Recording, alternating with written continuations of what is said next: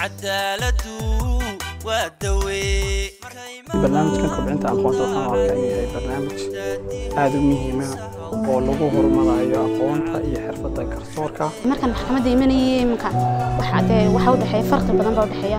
Iminka dee legal of dreamka senior baan ahaa jaamacadda waan sii dhamanaya waxaan go'aansaday inaan jaamacadda galo oo aanan maalin qudha aanan maqnaan qof walba maanta oo bahdaa garsoorka ku jira wuxuu u guclaynaya inuu tacliinta sare u qaado. Fursadan iminka anigu dalka dibaddiisa aan u baxay may jirin bah garsoor oo ka qayb qaadatay waxaan ahaa qofkii ugu horreeyey ee ka socda maxkamadaha ee ka qayb qaata deeqda waxbarasho. Capacity building bay u samaynaysaa marka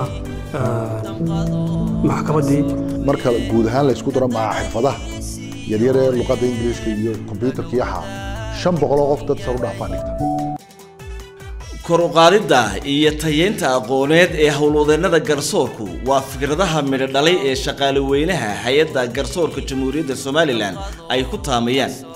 Shaqaalaha ku guda jira iyo kuwa ka aflaxay barnaamijkan kor loogu qaadayo aqoonta howlwadeennada garsoorka ayaa ka warramay sida ay warkaan barnaamijkan waxaanay niyada wanaag ka muujiyeen sida uu guddoomiyaha maxkamadda sare heeganka ugu yahay tayeynta hay'adda garsoorka dalka dee markaan maxkamadda imanayay iminka waxa dee waxa u dhexeeya farqi badan baa u dhexeeya.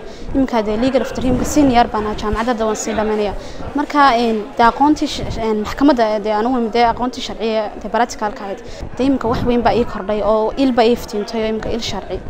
Barnaamijkan kobcinta aqoonta bahda garsoorka waa barnaamij aada loogu baahnaa. Maadaama bahdi garsoorku ay yihiin shaqaale oo u adeegaya bulshadooda markasta waxaa fiican inuu qofku heerkii uu joogay heer ka duwan uu gaadho oo waxbarashadiisa sii kordhiyo. Horta intuu yimid guddoomiyaha maxkamadda sare profesor aadan xaaji cali wuxuu muhiimad saaray amba uu dardargeliyey inuu kobciyo aqoonta muxuu ahaye bahda garsoorka. Fursadan iminka anigu dalka dibaddiisa aan u baxay may jirin bah garsoor oo ka qayb qaadatay. Waxaan ahaa qofkii ugu horreeyey ee ka socda maxkamadaha ee ka qayb qaata deeqda waxbarasho wax weyn bay ka bedeshay sida in aan noqdo qof dee dadaal badan oo muxuu ahaye isku hawlayo inuu u shaqeeyo dadkiisa uu u shaqeynayo. Marka inaan dardargel dardargelin badan sameeyo inaan daacad ahaado inaan dadweynaha wixii aan ku tari karayo dhan aan ku taro oo aan noqdo qof daacad ka ah shaqada uu qabanayo ayay taasi iisoo kordhisay runtii barnaamijka waxaa aada iyo aada uu dadaalkiisa iyo kartidiisa lahaa guddoomiyaha maxkamadda sare marka markii uu ogaaday in maxaanku dhaha loo baahan yahay in aqoonta garsoorka sare loo qaado dadaalada faraha badan buu la ilaahayna wuu ku garab galay raggii uu dirayna way ka faa'iidaysteen. Iyaga oo shaqo aada u adag haya oo shaqada ay hayaan ay aada u adag tahay oo aanay maalin qura maqnaanayn oo maxaanku idhaahdaa dee dadaalaya oo shaqadani waa shaqo aada u culus runtii garsoorku ayay haddana galaaska aanay mar qura jari jirin anoo guddoomiyaha maxkamadda racfaanka ahaa oo laba iyo toban maxkamadood ay hoos yimaadaan cabashadoodii racfaanadoodii kormeerkoodii ayaan haddana waxaan go'aansaday inaan jaamacadda galo oo aanan maalin qudha aanan maqnaan. Alxamdulilahi rabbilcaalamiin waana ta keentay inaan dadaalkaygii inaan noqdo honarkii maxaanku dhaha jaamacadda. Runtii barnaamijkan kobcinta aqoonta waxaan arkaa inuu yahay barnaamij aada u muhiima oo lagu horumarayo aqoonta iyo xirfadda garsoorka waxaanu ka mid yahay tiirarka waaweyn ee lagu horumarinayo isbeddel dhabana lagaga sameynayo xagga aqoonta. Dhammaan bahda garsoorka o dhan. Su'aalahan oo kale markaan garsoorka soo galay waxaan ahaa fresh graduate. Waayo aragnimadii kale aan soo shaqeeyay marka laga taga xagga aqoonta. Digriigii koowaad baan haystay sharciga oo l l b a jaamacadda hargeysa ka baxay. Intii garsoorkii aan ku dhex jiray baan aqoontii garsoorka barnaamijka anigoo ka faa'iidaysanaya ayaan digriigii labaad ka diyaariyey maxadkan tababarka maxadka shaqaalaha dowladda runtii? Iminkana fursadda labaad ee aan helayn waxa weeyaan fursaddan labaad ee masarta ah oo ah deeq waxbarasho oo ka mid a deeqii garsoorku bixinayay. Runtii ha aad iyo aad baan ugu aan ugu mahadnaqaya weliba guddoomiyaha runtii oo lahaa aragtidan muhiimka ah ee kor loogu qaadayo aqoonta iyo xirfadda muddada dheer ee bahda garsoorka aqoonta markaad kordhisay waxaad waxaad helaysaa kow dalacaad baad helaysaa runtii oo ah dhammaan waxa garsoorka o dhan ka dhex jira. Qof kasta oo ama digrii labaad ha diyaariyo ama aday masarba ha diyaariyo ama digrigii koowaadba ha diyaariyo waxa uu ku helayaa kow in mushaharkiisoo kordhaa laba hadduu shaqaalaha inuu hiir department noqdo ama hiir section noqdo. Shir lagu dhiirigelinayo howlwadeennada ka faa'iidaystay barnaamijka kubcinta aqoonta hay'adda garsoorka ee jamhuuriyadda somalilan ayuu guddoomiyaha maxkamadda sare aadan xaaji cali axmed isugu yeedhay. Guddoomiyaasha kaaliyayaasha gaadhsiiyayaasha iyo howlwadeennada kale. Si loogu guubaabiyo kor u qaadista aqoonta iyo xirfadaha kale ee loogu talagalay. Guddoomiyaasha maxkamadaha degmada gobolka iyo racfaanka ee gobolka maroodijeex oo iyaguna ka faa'iidaystay barnaamijkan ayaa qaadaadhigay ahmiyadda ay leedahay aqoontu iyo sida ay u horumariso shakhsiyaadka iyo shakhsiyadda qofka. Waxaynu ognahay tababaro kala duwan ayaynu u baxnay oo ah waddanka dibaddiisa iyo waddanka gudihiisaba. Annagu waxaan ka mid ahaa ardaydii ka faa'iidaystay wakhtigaa half scholarshipkii la bixinayey ee ardayda jaamacadda new generation. Waynanu dabaqnaa aqoontii aynu soo qaadanay. Oy ka duwanaataa maxkamaddu amba dadkii ma garanaysa iminka aqoontii maalin maalinba maalinta ka dambaysa way casriyoobaysaa marka inay ka muuqato xafiisyadeenna oo la ogaado inay joogaan dad aqoon leh maxkamadihii hawsha halkan waxbarasho ee la qabtay intii uu joogay guddoomiyaha maxkamadda sare lama soo koobi karayo. Qofka aad waxtiiso waxba uma tarin laakiin qofka aad aqoon barto noloshiisa oo dhan wax weeyaan wad kaafiday taynala gudbanina wax weeyaan inaynu de aqoontii aanu barannay aynu kaga duwanaano bulshadii kale iyo waqtiyadii kale ay maxkamadu shaqayn jireen. Oo imika waa layna kan tahay waxa weeyaan aad ay isbeddelku jiraaye inaynu dadaal sii samayno inaynu aqoonta ka faa'iideyno ummadda ka faa'iideyno waxaan anigu u soo joogo goobjoog u ahaa iyadoo dalkan somalilan garsoorayaasha jooga iyo xeeraalayaasha jooga iyo qareennada jooga waxa digrii jaamacadeed sitaa aanay ka badnayn saddex ama afar yihiin. Oo weliba qaarkood laga yaaba inaanay jaamacaddii xamar soomaaliya aanay soo dhammaysan. Markii berigii garsoorayaasha la wadeeriyey labadii kun iyo mayhada la wadeeriyey garsoorayaasha waa tii la waayey hal garsoore oo digrii sita oo lagu bedelo marxaladahaasuu soo maray garsoorku. In la waayey qof keliya oo digrii sita oo garsoore loo magacaabo maantana inta maxaanku yidhi jaamacadda ka baxday ee digriiga ah iyo inta mastarta ah ee somalilan joogtaa boqolaal way ka badan yihiin. Cilmigan wuxuu idiin faa'iideynaya waxaa ka mid a inaa muxaawalaad isku daydaan. Mar walba isku daydaan noloshu waa isku day. Isku daygaaga mar waad khaldamaysaa mar waad saxsamaysaa mar waad guulaysanaysaa mar waad guuldaraysanaysaa mar way kuu hirgelaysaa mar kuuma hirgelayso laakiin maxaa ku waajiba? Ku celi. Ku celi. Ha joojinin. Ku celi. Ha joojinin. Intuu cilmigu dadka ugu muhiimsanu baraa waa taas. Ku celi. Ha niyad jabin weliba dadkiina imika halkan fadhiya ay soo hor fadhiya. Boqolkiiba sagaal iyo sagaashan. Dad da'yar da'yar baa tii ilaahay baa cidda noolaanaya inta la noolaanayo goor la noolaanayo waxaasoo dhan ba. Laakiin inta ilaahay nolol qoro wakti dheer inaad noolaataan baa laga yaaba intiina qadarka ilaahay u qoro soomaydu fahmin. Marka maanta un hayeegina dadkana fariintaa gaadhsiiya. Tallaabada lagu kobcinayo aqoonta hay'adda garsoorka ayaa kor u qaaday geedi socodka dacwadaha ka socda maxkamadaha dalka jamhuuriyadda somalilan adeega qaabkii loo qaban jiray oo dhan baa sarudalcamo qualitygii baa fiicnaaday. Dadka productionkoodii wax soo saarkoodii baa fiicnaaday. Mas'uuliyaddoodii inay responsible noqdaan oo ay dad xilkasa noqdaan fiicnaaday. Waxaa kaloo fiicnaaday moralitygoodii iyo akhlaaqdii ay lahaayeen ee ilaah ka baqashadii iyo inay shaqadooda dalkooda u shaqeeyaan iyo inay aticska akhlaaqiyaadka dhan ilaaliyaan. Waxa kaloo yuhuuntoodii baa isbedeshay oo qofki wuxuu noqday qof rajo leh oo mustaqbal higsanaya oo aan halkan uu maanta fadhiyo ku habsaamayn oo aan waraaqahan iyo xafiiskan uu fadhiyo ku habsaamayn hiigsi leh.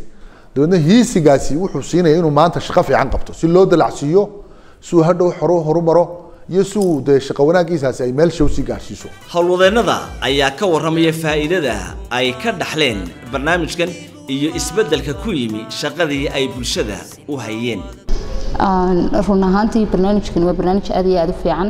Annagna aan ka faa'iidnay in badan maadaama aan anigu ka faa'iiday qaybta masterta weliba international lowga oo ah qaybta aan ku shaqeynay maadaama aan ka tirsanay bahda garsoorka kolley markastoo aqooni kuu kordhaba waxbay iska kaa bedelayaan haddee hab fikirkaagii yahay haddii hab shaqadaadii tahay iyo de logically jismigaagaba waxbaa iska kaa bedelaya waayo. Aqoon markastoo aqooni kuu kordhaba waxbaa kugu soo kordhaya moogtahay marka wax fiican way iska bedeleen sidii horeen ahaa. Sida ugu fiican waa looga faa'iidaystay. Naftayda markaan kala hadlayo digriigii waanu ka faa'iidaysanay mastertii waanu ka faa'iidaysanay qayb kale ayaa jirta oo islaamic online oo kala bixiso ingiriisi ah. Taa laftarkeeda waanu ka faa'iidaysanay iyadana. Gudoomiyaha maxkamadda sare aadan xaaji cali axmed isaga oo ku baraarugsan ahamiyadda ay bulshada u leedahay inay helaan garsoor hufan oo aqoon durugsan u leh shaqada ay hayaan. Waxa uu heshiisyo iskaashi la galay jaamacadaha dalka si kor loogu qaado aqoonta iyo xirfadda howlwadeennada hay'adda garsoorka dalka. Marka fikraddan horta waxa uu ka yimi waa qorshe guddiga cadaaladdu aanu ku hogaaminayno guddiga cadaaladdu hogaaminayso ay wado oo ah in dubahabeynta garsoorka dub loo habeeyo. Waxaanaynu ognahay meel walba waxaa jira aasaas laga bilaabo. Marka aasaaska wax waliba waa cilmiga iyo tacliinta. Anigu markaygii hore waxaan ahaa nin jaamacadaha ka yimi oo muddo dheer macalina ka ahaa qaybo badanna ka soo shaqeeyey. Marka xidhiirkii runtii fiicnaa ayaan la lahaa jaamacadaha ayaa ii saamaxay inaan jaamacadaha ugu waaweyn wadanka ayaan la galay heshiisyo scholarship ama deeq waxbarasho oo qaarkoodna bilaash yihiin. Full inay sii dad go'aanna siiyaan sannadkii oo bilaasha oo dadka danyarta ee aan iyagu awoodi karin iyo siidad boqolkiiba konton. Markaa laba qaybood weeye scholarshipku saan idiin sheegay.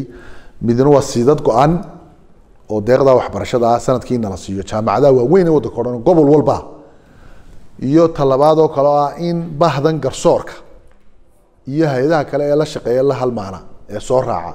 Hadday booliiska yihiin hadday garsoorayaasha xeeraaliyaasha qareenada kaaliyaasha wixii booliiska iyo wax alle wixii bahdaa la halmaana. Inay dadkii ka taga halkan boqolkiiba konton ay siiyaan scholarship. Taasi waa mabda guud. Jaamacadaha qaarna boqolkiiba soddon jaamacadaha qaarkiina awoodooday ku xidhan tahay. Jaamacadaha waxaa ku jira xitaa aan iyagu digri ahayn laakiin skillka iyo xirfadaha saru loo dalaacay sida luqadii oo kale iyo computerkii oo kale iyo xirfadaha lamidka ah. Marka jaamacad walba heshiiskaasaanu la galnay qaar ka mid ah jaamacadaha heshiiska kula jira hay'adda garsoorka ayaa geestooda waxay soo dhoweeyeen taabagalka fikradda toolmoon waxaanay ka marakaceen in ay ahmiyad weyn u leedahay jaamacadaha iyo hay'adda garsoorkaba waajib iyo xuquuqba wixii iyaga ka saaraa iyo wixii annaga naga saaraaba maantaynu halka kan iyadoo wada jira aynu ku kala saxeixanaysaa marka wixii ka harhsanay marka saxeixaasi dhacana waa fulinta. Sharaf waxaa noo amarka inaanu annagu awalba wadnay facultigii shareecada iyo qaynuunka. Hase yeeshee ay xoog lahayd shareecadu runtiina col badani maxkamadaha imankaba ka shaqeeyo waxa weye fursad waxaa noo ah inaynu isu dheeli tiro labadii qaybood ee shareecada iyo maxkamadaha oo laakiin digriiga koowaad aanu awal bixin jiray. Maantana munaasabadda tan guddoomiyaha sare noogu yimi iyo iyo colkiisu waxa weeye sharaf bay noo tahay inaanu idinla socodsiino in mar kale aanu digriigii koowaad ee awalba aanu wadnoo xoojisan iyo digriigii labaad aanu fulin doono haddii alla yadhi iyadoo laysla kaashanayo waxyaalaha aanu ka ballannay. Waxaan aad iyo aad u rajaynayaa kuna kalsoonahay guddoomiyuhu dhinacooda inuu aad iyo aad uga soo bixi doono annana sidaasoo kale inaanu ka soo baxno. Kole waxay bixinaysaa horena way bixin jirtay laakiin formal mu ahayn wuu soo gaari jirin laakiin hadda laga bilaabo waa wax heshiis ku jira oo arday ka mid ah ama rag ka mid a garsoorka sare ee weliba maxkamadda sare ama heerarka jaamac ay ka mid tahay maxkamadda ka dhisan tahay oo dhan inay laba ka midi afar ka midi full scholarship ay ku dhigtaan laba digriya iyo laba iyagoo mastera jaamacaddu masterna imika way bixisaa weliba jaamacado kale ay la bixiso waaweyn taas waxay samaynaysaa capacity building bay u samaynaysaa markaa maxkamaddii oo waxay keenaysaa aqoon fara badani inay meeshii ka samaysanto oo lagu hormariyo garsoorkii. Jaamacadda lafteeduna waxay u baahan tahay internship ay meel ay ku qaataan ardayda soo baxaysa. Meel ay tababarkii ku qaataan oo inay garsoorkii muudkoorkii maxkamadii sidii loo qaadayay dacwadihii qaabkii loo qaadayay investigationada ama baadhitaan wax walba si loo soo sameynayay in iyaguna ku bartaan. Heshiiskan wuxuu dhaqangelayaa maanta oo la saxeexay in badan haddii ilaahay ka dhigo waxaanu noqonaya mid active ah oo saa haddii ilaahay ka dhigo ku shaqeeya. Heshiiska aanu kula jirno waxaa ka mid ah inaanu siino scholarship inaanu siino half payment iyo inaanu siino mataqaanaayay iyo full scholarship ah inaanu siino inaanu siino seminaries. Annagana waxayna siiyaan inaanu training ardaydan ku jirta jaamacadda ee qaanuunkan mataqaana lowga baranaysa inay iyaguna maxkamadaha inay tagaan hadday tahay xeer ilaalinta hadday tahay mataqaana maxkamadii degmada hadday tahay tii gobolka hadday tahay tii rafxaanka iyo hadday tahayba mataqaana maxkamadii sare iyo dhammaan gobollada jamhuuriyadda somalilan waxaasoo dhan waxaa fududeeyo aada ugu mahad celinaya marka hore ilaahay baa mahadle laakiin mar labaadka howlahaasoo dhan waxaa fududeeyey aadan xaaje xalay jaamacadda camuud marka horeba sidaad u sheegtay markii aanu aasaasaynay kuliyadan sharciga iyo qawaaniinta yacni waxaan ujeedada ka dambeysa waxay ahayd aanu maskaxda ku haynay in tayada dee maxkamadaha iyo maxaan ku dhahay qaadiyada kor loo qaaday wadanka. Annagu jaamacad ahaan iyo maxaan ku dhahay garsoorka weligayaba horteed xidhiir fiican ayaa naga dhexeyn oo cooperation fiican ayaanu runtii lahayn. Haddii maxaan ku idhahdaa ay tahay maarata xagga tacliinta iyo hadday tahay waxyaalo kaleba xidhiir fiican. Oo waataad ogeydoo de waynu wada shaqayn jirnay iminkana maarata sidii si ka daran ayaanu wada shaqaynaynaa waxa weeye arintaa aad ka dhawaajisay maarata scholarshipka ah aad adigu carabka ku dhifatay inta aan goynay. Runtii aad iyo aad baan ugu faraxsanahay. Annaga ku faraxsan maarata inaan ka qayb qaadano diyaar baanu nahay waana naga niyad. Gudoomiyaha maxkamadda sare ee jamhuuriyadda somalilan ayaa tibaaxay in ay ku dhowaad shan boqol oo arday ka faa'iidaysteen barnaamijkan halka uu howlwadeennada kale ugu baaqay in ay ka faa'iidaystaan. Aad bay uga faa'iidaysteenoo maanta ugu yaraan dad ilaa afar boqol oo qof ayay dadna qalijabiyeen dadna dhigtaan. Marka marka guud ahaan la isku daro maca xirfadaha yaryare luqadda ingiliishka iyo computerka iyo waxaa shan boqol oo qof dad saru dhaafaa dhigta. Qof walba maanta oo bahdaa garsoorka ku jira wuxuu u guclaynaya inuu tacliinta sar u qaado. Waayo wuxuu helay waxbarasho bilaasha oo scholarshipa ama boqolkiiba konton laga dhaafayo cilmigu waa waxa meel lagu gaadho. Ilaahayna qur'aankiisu inoogu sheegay qul hal yastawi aladiina yaclamuuna waladiina laa yaclamuun. Inamaa yatadakaru albaab. Miyey ilaahay wuxuu ihi ma sina miyay siman yihiin inagu inuu ma sina. Ilaahay wuxuu leeyahy ma sina qof wax garanaya iyo midaan garanayn. Marka anigu imika waxaan ugu baaqayaa dadka scholarshipka fursadda u helena inaanay khasaarin. Kuwa weli aan waxbarashadooda kobcina inay kobciyaan. Gudoomiyaha maxkamadda sare waxa uu mahadnaq u diray jaamacadaha heshiiska kula jira hay'adda garsoorka dalka. Jaamacaduhuna wayna soo dhaweeyeen macaahid wayna soo dhaweeyeen xidhiidho fiican baan la leenahay. Scholarship wayna siiyeen aragtideedan bay qaateen aragtideedan ah war si qualitygii garsoorka u fiicnaado idinkuna caawiya oo ka qayb gala. Iyagiina market bay u noqotay oo jaamacadaha qaar iminka departmentyoodu way buuxsameen way ka faa'iideen. Aad bay uga faa'iideen. Oo millions intaasoo qof baa de loo diray oo tegey oo scholar ha shiiyaan laakiin de percentage iska bixinaya. Marka dadkii kale iyaguna somaliland baa soo eegtay. Marka jaamacaduna si dadban ay uga faa'iideen. Waxaa kaloo ka mid a waxyaalaha ay jaamacadu ka faa'iideen internship in ardaydooda looga dhigata ama ardayda kale doonaysa inay cilmi baadhis ka samayso in internship la siiyo oo dabeedna ay muddo nala shaqeeyaan marka dambe performancega eegno recommend garayno dad baa shaqooyin caalami ku hela. Xitaa waxa internshipka noogu yimid dad dibadaha wax ka soo bartay. Waxaan halkan xoog iyo xoog uga mahadnaqaya jaamacadaha waxbarashada scholarshipka iyo macaahidda na siiyey sida fiican sameeyey wadaninimada muujiyey ee iyaguna ma garanaysaa fursadda bixiyey iyaguna ka faa'iiday. Aad baan uga mahadnaqay guddoomiyaasha oo dhan hogaaminayaan way fara badan yihiin mid mid waa u arki doontaan waa wadanka oo dhan aad baan uga mahadnaqayna waxaa kaloo uga mahadnaqaynaa cid kastoo dadaashay oo ka faa'iidaysatay oo dabeedna wixii ay baratay shaqadoodii ku soo celiyo bulshadoodii uga faa'iiday